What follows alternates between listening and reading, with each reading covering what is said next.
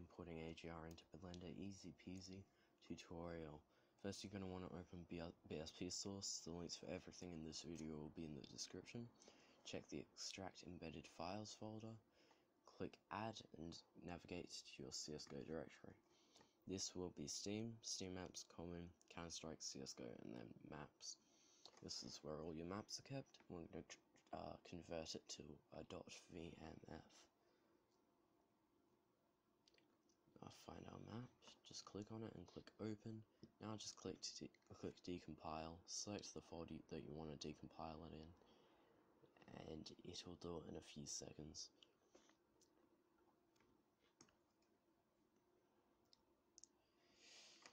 Now when that's done, we're going to want to go over to Blender, click on Edit, Preferences, Add-ons, and we're going to click on Install on the top right, and just select all the uh, .zip files in the description. All the plugins will be down there, uh, easily labeled. Click the checkbox next to them when you're done. Now when you get to the uh, VMF importer script, you are going to want to go there, click the little plus button, detect games, and navigate to your uh, CSGO folder again. This will be the same from before. Steam, steamapps, Common, Counter-Strike, CSGO, and Maps. Not, no maps, just CSGO. Let's exit out of that, and we can open up our system, our Blender console, see how the imports are going, see the percentages in there. Now we go import, valve map file, .vmf, go to where we extracted that file to before, select our Counter-Strike Global Offensive option. We can change our sky resolution to 2070. Uh, and then just click import. This will take a little bit. Let's just skip over there. Check that your map works, check all the textures and the materials and the objects. See if they've all imported correctly. Looks alright here just go around a bit. Um, yep, now that's working. Uh, we're going to record the AGR. We're going to open up HLAE and start CSGO with a dash insecure tag. Once that's uh, once we've launched our demo that we recorded previously, we are going to press Shift plus F2 to open up that little tab, which we can pause and resume our demo with. Now we're just copy and pasting in all the uh, commands. This will change our frame rate and the descriptions for those will be in the, down in the description. What they do and what they affect. But these are just the basic uh, options that you should do. And we'll run the start command and we will start the demo recording it'll go very fast, so watch out for that for our small clips. Get the end command ready, and when it's finished, we will end. Next, going back to Blender, click Import, Import AGR. Uh, you can use AGR Advanced Scripts, which is what I'm using here. It'll automatically import all the materials. It is a little bit unstable though, so I'd watch out for that. Choose our game definition,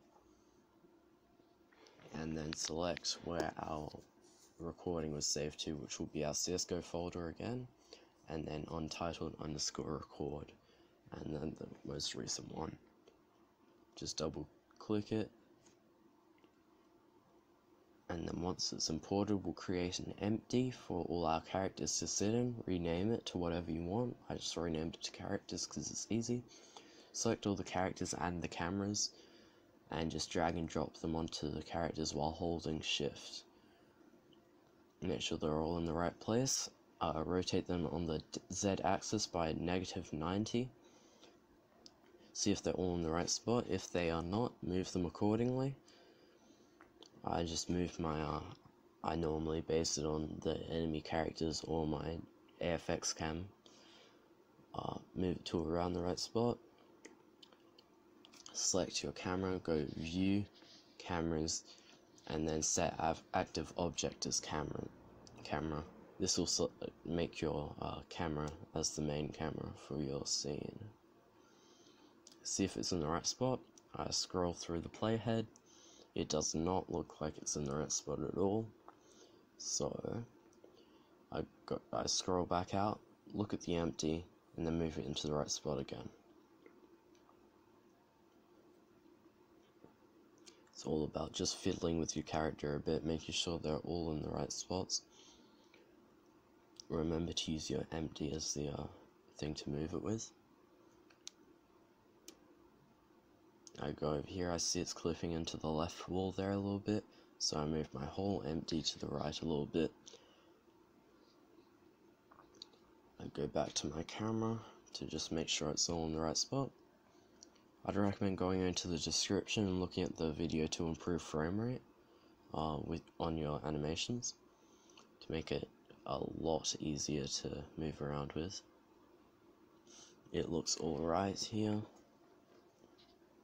Now we're gonna check our frame rate, make sure it's the good old 25 or whatever you uh, exploit your animation as.